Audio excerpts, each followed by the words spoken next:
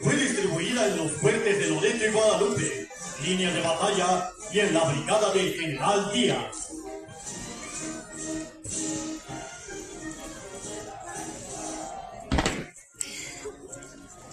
Cinco mil cuatrocientos treinta y cuatro hombres del Cuerpo de Ejército de Oriente defendían Puebla.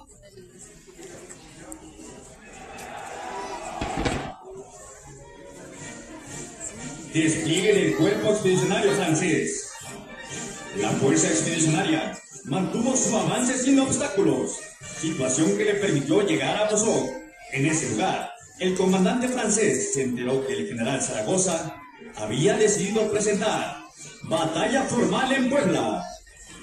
Con la seguridad de lograr un triunfo rápido y contundente, fue ocupada la hacienda de Remetería para finalmente cambiar a Rancho Lopeza, que a partir de ese momento fue la base de partida para iniciar el primer ataque. En Rancho Lopeza se ubicaron los batallones, primero y segundo de Suavos, el batallón Fusileros de Infantería de Marina, un batallón de marinos y la sexta compañía de ingenieros.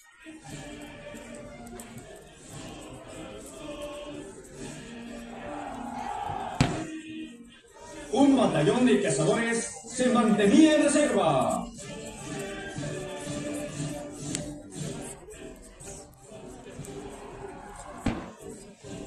La artillería francesa fue establecida de la guardia de Rancho Lopeza.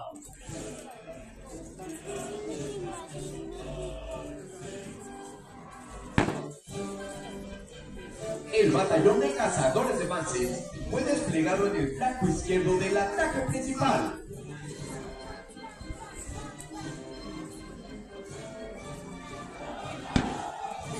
El segundo escalón quedó como reserva el segundo batallón del 99 Regimiento de Infantería.